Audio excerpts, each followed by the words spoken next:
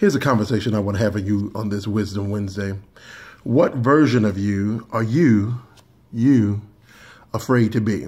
I know that sounds a little ridiculous until you think about the ways that you skip a doctor's appointment or add another cheat day to your week or don't exercise or skip a meeting or a program that you said you were going to go to because you know it benefits you. And then all of a sudden you get too busy doing stuff for other people.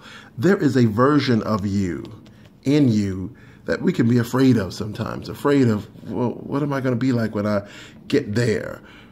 You know, will my friends remain the same? Well, my circumstances remain the same. No, that's why you're busy working on this new you. You don't want things to be the same. You want them to feel comfortable. And if comfort comforted you, you'd stay where you are. You wouldn't be dreaming of this other version of you. But there's a reason that you can sometimes think, ooh, and that's the anticipation of being more. You know, sometimes we have to remember we got on this ride on purpose. It's just like a roller coaster.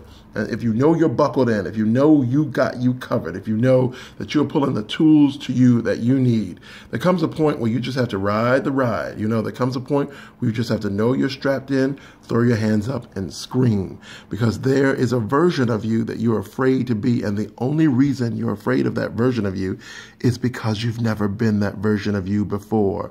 So go quietly, strongly, loudly into that good night and figure it out step by step. Figure it out by sitting in that class, by auditing it, by, by reading that book and not just getting it and putting it on the shelf. Do the work to become the version of you that you think you're afraid of.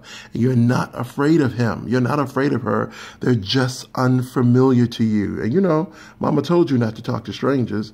And maybe you're afraid of that stranger you that you haven't gotten to know yet. And you get to know you when you read the book and realize that your ideas aren't as foreign, aren't as crazy, aren't as out of reach as you thought they were. You get to realize that, realize, fully realize that version of you by realizing that if I walk, if I pull away from the table, if I do a little bit more to take care of me. I see it in my waist. I see it in my skin. I see it in the ways I show up. You're not afraid of that version of you. You're uh, unfamiliar with him. You're unfamiliar with her.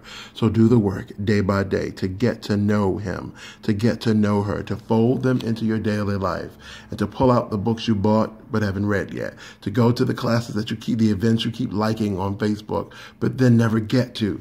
Do the stuff that you say you need in order to be more you and more you will show up. Ask me how I know. Peace. Wisdom Wednesdays. I think I'm going to keep doing this.